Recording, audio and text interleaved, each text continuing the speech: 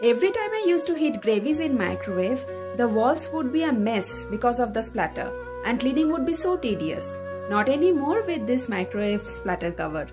It's easy to use, easy to clean, has holes for steam to escape, making it a much better option than using regular lids. It's totally a game changer. Product link in comments.